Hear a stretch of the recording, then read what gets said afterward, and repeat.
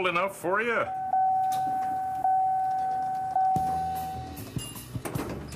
Well, first of all, you got to be a realist. It's going to come. There's not much you can do, I, I guess, besides really getting mentally prepared for it. Here's a real news flash. It is, of course, cold in Minnesota during the winter. How cold is it? Well, as I told you before, I moved back here from California. You know, you try to tell your friends back in California what 90 below zero wind chill is like, and they can't grasp it at all because they can't grasp much. Most of them are on drugs. But I told them this. I was out shoveling my driveway, 90 below zero wind chill, and I wanted to come in and get warm. I came in, I got in my freezer, 90 degrees warmer in the freezer. That's a fact. I just had a little popsicle and went back out again, all sweaty for heaven's sake. So, yeah, it's cold. But the most salient feature of a Minnesota winter is not its harshness, but its length. We could take unbearable cold for, say, six weeks, secure in the knowledge that there is an end in sight. But from that first freezing rain in November that lays a nice base for the entire winter and makes my uphill driveway into a world-class Olympic luge run, to that last taunting inch of snow in early May, well over half of another year has passed. And it isn't just the cold, just the length, it's the bleakness of the landscape. Frozen water, unsightly piles of yellow and black snow, bare trees. Think about it, my friends. You could get pregnant in a particularly cool September when all but a few brown leaves were down, and deliver in May when only a few leaves were budding, and see nothing but naked trees for your entire pregnancy. That's probably how Leif Erikson got his name. His Viking mother was completely desperate. We Minnesotans manage the weather by avoiding it. In the cities, we walk in the skyways. At home, we use the attached garage. You know, James J. Hill invented the attached garage. That's how he sold so much lumber. Later, his relatives convinced the Department of Transportation to panel the freeway, but hey, that's another story. Another way Minnesotans pass the winter is with the dynamic sport of ice fishing. The guy who invented this sport must have had severe marital problems. He awoke at 4.30 one morning, looked at his sleeping wife and said, I would rather be sitting in the middle of Mille Lacs in a freezing plywood shack waiting for a suicidal walleye than lying here next to you. Shortly after that, beer was invented. In a related story, Minnesotans generally gain weight during the winter. And all the helpful national diet companies offer great suggestions like why not substitute a healthy food for a similar unhealthy one? For example, instead of pie for dessert, try one rice cake. Whoa, hold me back. And instead of butter and sour cream on your baked potato, have some plain yogurt. Oh, that's roughly equivalent, isn't it? Kind of like a travel brochure saying, for your next winter vacation, instead of Maui, try Minnesota. They both start with M. And they both have salt water and sand. Of course, in Minnesota, they're on the freeway. Winter can be beautiful and serene for a time, but even a good-looking guy, Kato Kaelin comes to mind, can wear out his welcome. But Minnesotans are a tolerant and very hardy people. That's one reason I like being a performer in Minnesota. You know, you make plans to go out to a show with a Minnesotan, and by golly, you're going. There can be a blizzard, you cannot see your hand in front of your face, and a Minnesotan will say, I think it's letting up. And so, as we kick off our long, bleak, hard segment on winter, let us salute the hardy Minnesotans, the only people on this planet who randomly spritz Pam and Right Guard around, hoping to speed and promote global warming. Minnesotans' way of saying that they like you is, can I, can I charge your car? Can I jump your jump your car? car. So, a pickup line. Yeah. Hey, baby, can I jump your car? Okay, so it's winter, and the door to the bar swings open with a flurry of snow, and a naked guy runs in with jumper cables wrapped around his neck, and the bartender says, Okay, but don't start anything.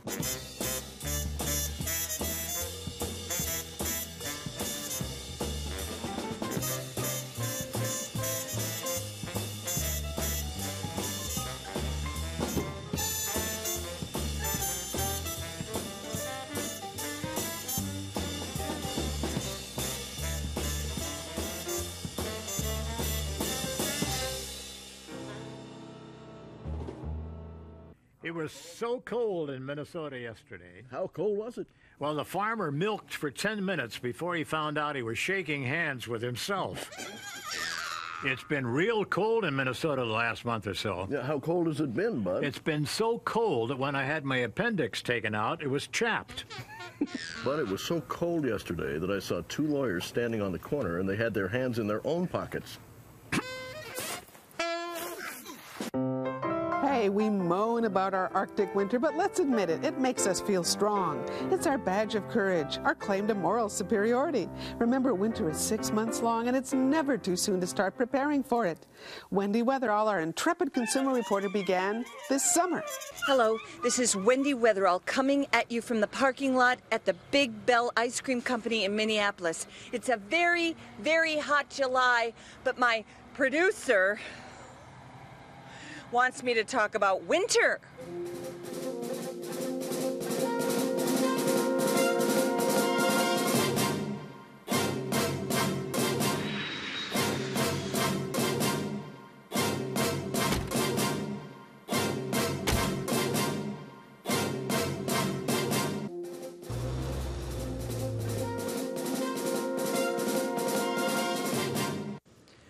Let's face it, winter is not what it used to be. Sure, it gets a little nippy now and again, but with Thinsulate, Polar Fleece, and Goose Down, haven't we really conquered the cold? I believe we have. To demonstrate this fact, the crew will seal me in this subarctic freezer. Whew. Here I will spend the next 24 hours dressed in nothing but long underwear, insulated socks, ski pants, a turtleneck, a down vest, a down coat, Sorel boots, mittens, and maybe a hat.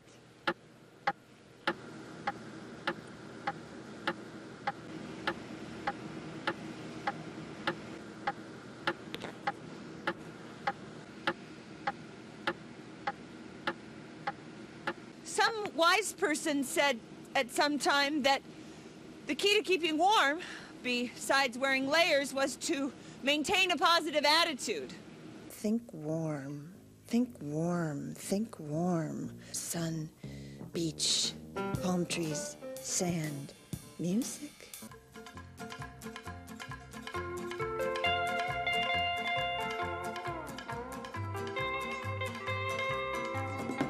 I love you, Colin, she said tentatively. Come here, he grabbed her roughly, grabbing her with his calloused hands.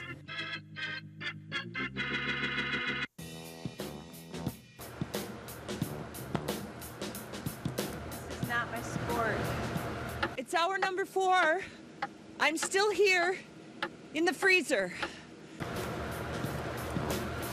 Uh, it's cold, but it's dry cold. I don't speak Italian. Non parlo italiano.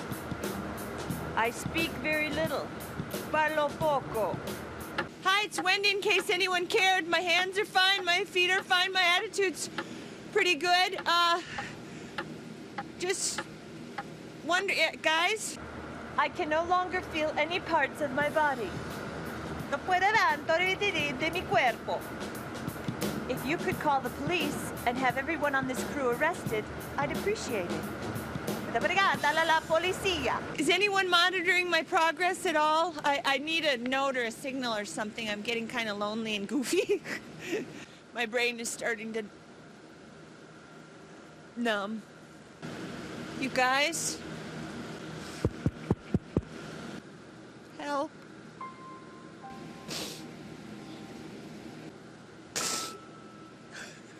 And to my little brother, Frankie, I leave my entire collection of stamps from Belgium. Take them, Frank. Take them. This is Wendy Weatherall signing off one last time. I didn't want it to end this way, but uh, there's that light I've always heard about. It's so warm and inviting. I. Who, me? Okay. Where are we going? Oh, that sounds like a nice place. Is it like Minnesota?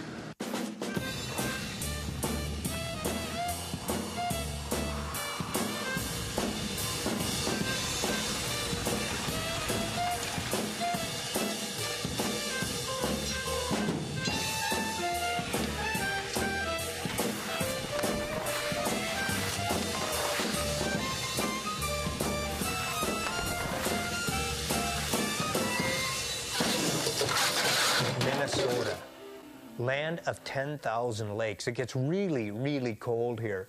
Last winter, though, was the first winter in a long time where you could take a cup of boiling water out front, throw it up in the air, and nothing would hit the ground. My brother and I used to play this game called Avalanche. And to play Avalanche, we would wait for a big snowfall and then hide against the side of the garage. And when the snowplow would come down the road, I would run out just ahead of it and dive into the snowbank. Then the plow would come by and bury me up. Then my brother was the St. Bernard, and he'd come and dig me out. One time, we're playing Avalanche. I'm underneath the snow. The plow goes by. I'm buried up. And I'm under there, and it seems like my brother is taking a long time to come and get me. This is taking a really long time. And it reminded me of the time when he locked me in the trunk, and then he got scared and left the room. And my mother had to come in with a screwdriver and pound it through the top of the trunk so I could breathe like a moth in a jar. I remember the screwdriver coming, joo, joo, joo, joo, through the top of the trunk. And he'd done that because I'd rolled him up in a carpeting. This was his idea. I'd laid him in a carpet and rolled him up with his head sticking out the end. This is when we found out that he was claustrophobic and he starts screaming, Let me out, let me out, I'm going to kill you, let me out. Ah, ah, ah. He was insane, like a, a, a, mad Pez dispenser. Let me out, I'm going to kill you. And I, I was in a dilemma. Do I let him out? He's going to kill me. So I ran away. And I wondered if this was fresh in his mind as I lay underneath this snowfall waiting for him. And then there's his little hands, and I hear, woo, woo, woo, and he dug me out. I love my brother. That game was his idea, though, if I remember right.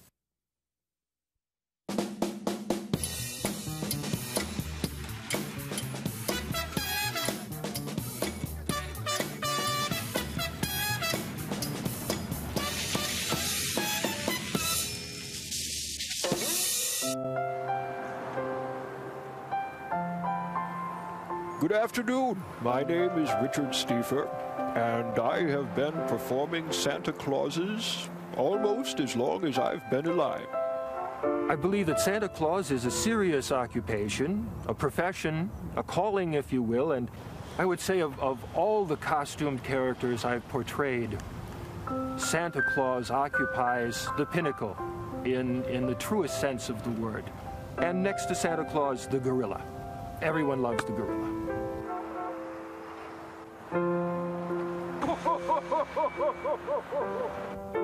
Christmas is my favorite season of the year. Of course, it's it's hard to find a way to be Santa Claus 365 days a year. In the off season, I like to remove myself from the, the maddening pace and spend a quiet moment by the lake and enjoy a moment of quiet reflection. When I'm not playing Santa Claus, there's a little something missing from my life. I, I suppose it's it's like Superman hanging up his his cape, uh, or, or Batman, you know, putting the Batmobile up on blocks. Hi, Santa! Good afternoon.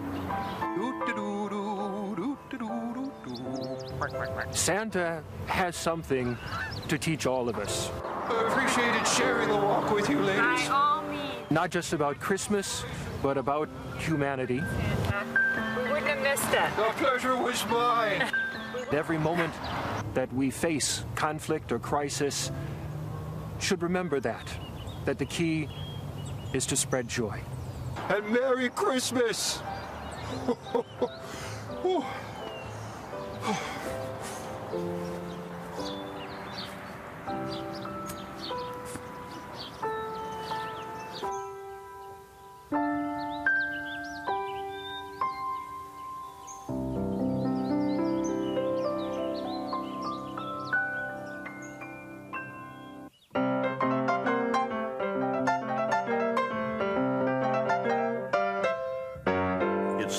cold in Minnesota. How cold is it? It's so cold that people don't look twice when a man walks into a bank wearing a ski mask. Weather proverb. When bones or joints or bunions pain, expect a dose of snow or rain. As snow or rain approaches, the pressure starts to fall. As it falls on the outside, it falls inside your body too. Ouch! Your body tries to adjust. Your joints and your bunions are particularly sensitive to even small changes in pressure. Ouch! Ouch! Ouch! I have three cats, and, and whenever winter first comes and they see that first snowfall, and they they go like this, you know, they're walking and they're shaking off the, and they turn around and they're so mad. They look at me and they're so mad. And then what they always do is they try a different door. They're hoping that the door to summer is out that other door, which we're all Oh, that's cute. looking for the door to summer. Yeah.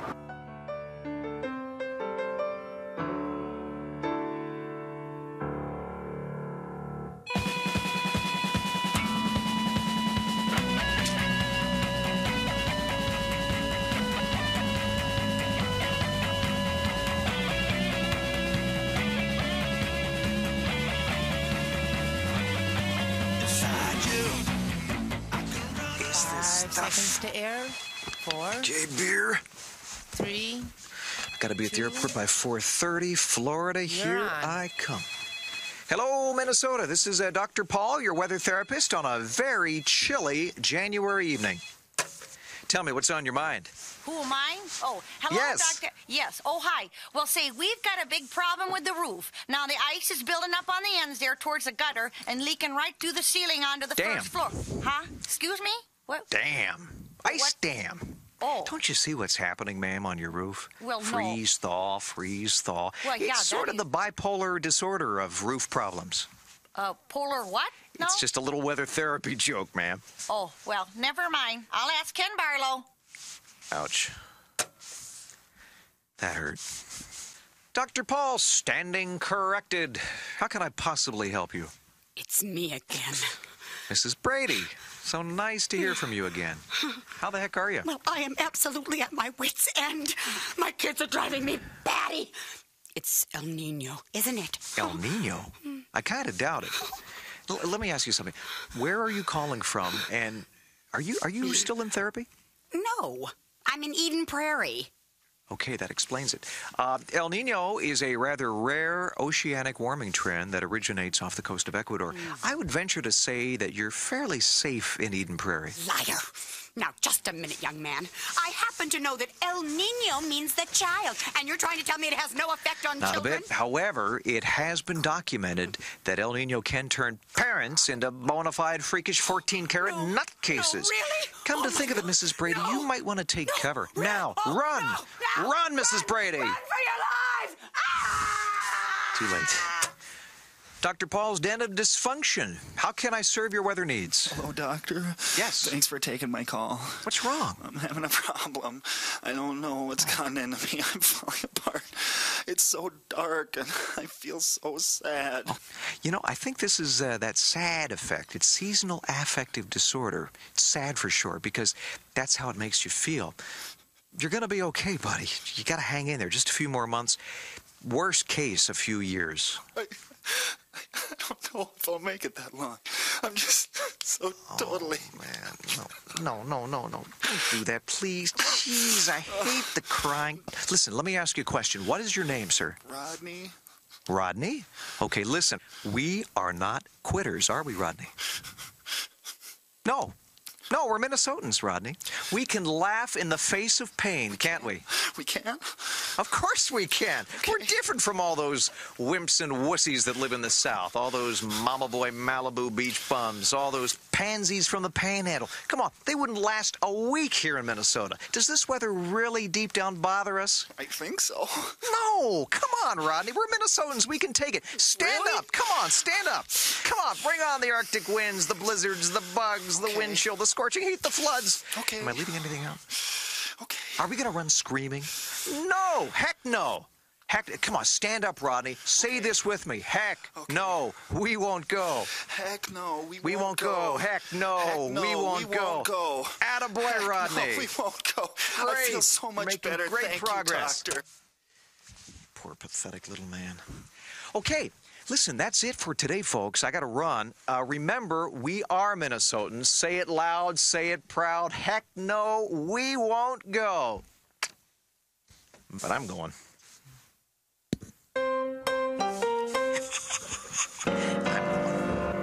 Caught a chill that froze my desire. This deep freeze it won't let go. Used to hold a flame for you, but it drowned in all this snow. Is it cold enough for you? Is it cold enough for you yet? Your cold feet, they wreck my libido, and you steal all the covers too. Your sweet nothings add up to zero. The wind chills hotter than you. Is it cold enough for ya? Is it cold enough for you yet?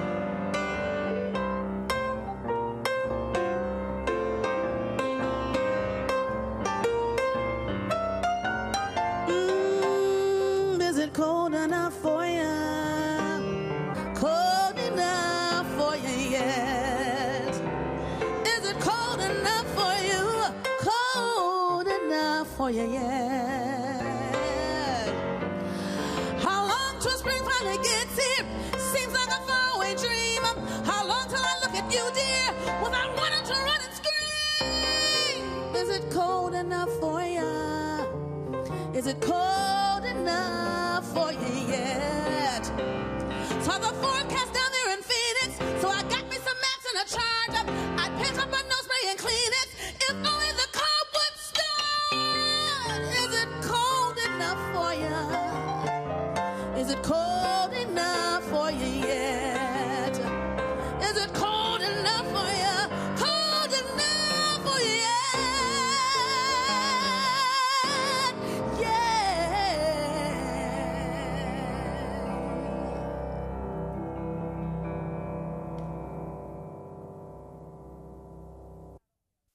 Winter is not only our longest season by far, but the easiest to parody.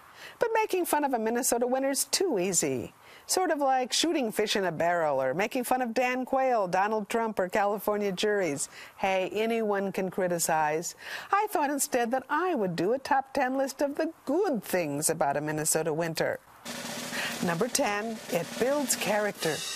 In fact, the only people with more character live in northern Canada, parts of Poland, and the Ukraine. Number 9, we have a pleasantly low rate of indecent exposure.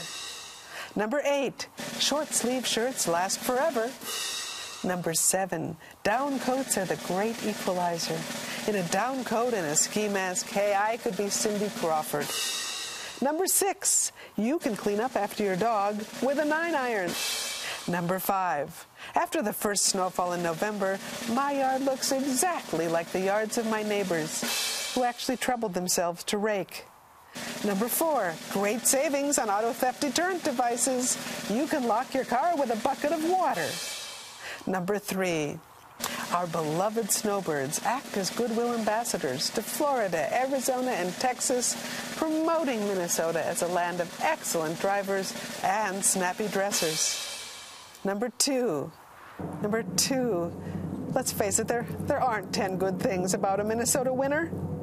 But number one, it only lasts for six months, and it feels so good when it's over.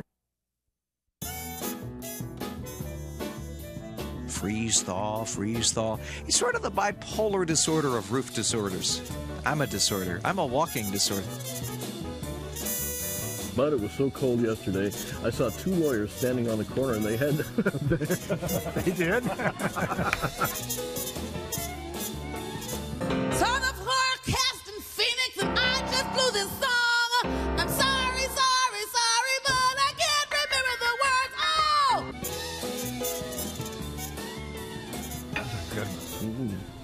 conundrum. you can't say that on television. you can't say that on public television.